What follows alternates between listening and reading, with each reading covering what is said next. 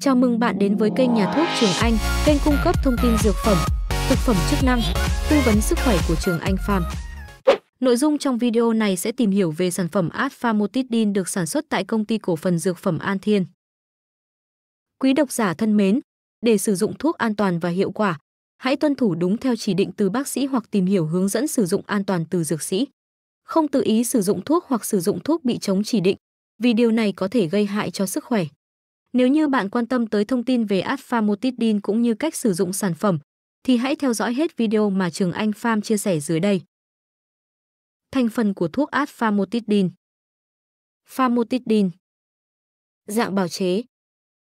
Thuốc tiêm tĩnh mạch. Công dụng và chỉ định của thuốc Adphamotidine Loét dạ dày và loét tá tràng, trào ngược dạ dày thực quản và các tình trạng tăng tiết khác, ví dụ hội chứng Zollinger-Ellison dự phòng tái phát loét, dự phòng hít axit trong gây mê, hội chứng Mendelssohn.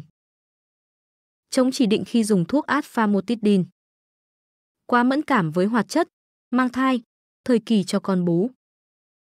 Chống chỉ định với trẻ em vì thiếu các kinh nghiệm cho lứa tuổi này.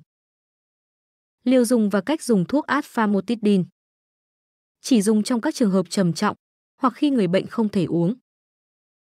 Liều thông thường là mỗi lần 20mg, tiêm tĩnh mạch 2 lần trên ngày, mỗi 12 giờ tiêm một lần.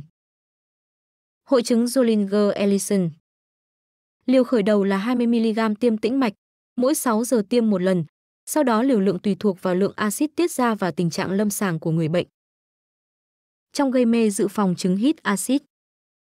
Tiêm tĩnh mạch 20mg vào buổi sáng trong ngày phẫu thuật hay tối thiểu là 2 giờ trước khi phẫu thuật. Liều tiêm tĩnh mạch đơn không thể cao hơn 20mg. Trong trường hợp tiêm tĩnh mạch, nên pha thuốc trong 5 đến 10 ml dung dịch nước muối sinh lý, ống dung môi, sau đó tiêm chậm, tối thiểu là trong 2 phút. Nếu truyền dịch, nên pha thuốc trong 100 ml dung dịch gluco 5% và truyền trong 15 đến 30 phút. Chỉ pha dung dịch ngay trước khi dùng, chỉ dùng dung dịch không màu và trong. Dung dịch đã pha sẽ bền trong ít nhất 24 giờ ở nhiệt độ 25 độ C. Trong suy thận, nếu độ thanh thải creatinine nhỏ hơn 30ml trên phút, creatinine huyết tương lớn hơn 3mg trên 100ml, thì liều hàng ngày nên giảm xuống 20mg hoặc kéo dài khoảng thời gian giữa các liều lên 36 đến 48 giờ với cả viên nén và thuốc tiêm. Lưu ý đặc biệt và thận trọng khi sử dụng thuốc. Trước khi khởi đầu dùng famotidine, phải loại trừ u ác tính. Ở người bệnh tổn thương gan, nên giảm liều. Tác dụng phụ của thuốc Hiếm gặp thân nhiệt cao, nhức đầu, mệt mỏi, tiêu chảy hoặc táo bón, dị ứng, loạn nhịp tim, vàng da ứ mật, tăng transaminase huyết tương, biếng ăn, nôn, buồn nôn, khô miệng.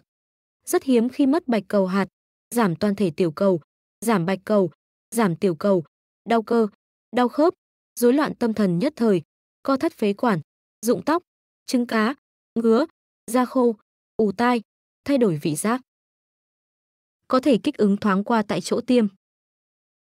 Sử dụng thuốc cho phụ nữ có thai và đang cho con bú. Không sử dụng cho phụ nữ có thai và đang cho con bú, theo chỉ định bác sĩ. Sử dụng thuốc cho người lái xe và vận hành máy móc. Thận trọng khi sử dụng thuốc khi lái xe và vận hành máy móc. Tương tác thuốc Famotidine không ảnh hưởng đến hệ enzyme cytochrome P450 Do đó thuốc không ảnh hưởng đến sự chuyển hóa của các thuốc bị chuyển hóa bởi hệ này. Do famotidine làm tăng pH dạ dày, nên sự hấp thu ketoconazole có thể giảm nếu dùng đồng thời. Hy vọng, qua những chia sẻ trong video này của Trường Anh Farm sẽ giúp quý bạn đọc hiểu rõ hơn về sản phẩm Adphamotidine, đồng thời biết cách sử dụng Adphamotidine sao cho đúng và hiệu quả. Nếu có thắc mắc khác, hãy liên hệ tới bác sĩ điều trị để được tư vấn kỹ hơn nhé. Hãy là người tiêu dùng thông thái trong việc sử dụng dược phẩm để đảm bảo sức khỏe của chính bạn và người thân. Cảm ơn bạn đã theo dõi video. Nếu như bạn thấy video hay, có ích và để cập nhật thêm nhiều thông tin về các sản phẩm dược phẩm, mỹ phẩm cũng như các loại thuốc hoặc thực phẩm chức năng khác, vui lòng nhấn đăng ký và theo dõi kênh nhà thuốc Trường Anh của Trường Anh Farm.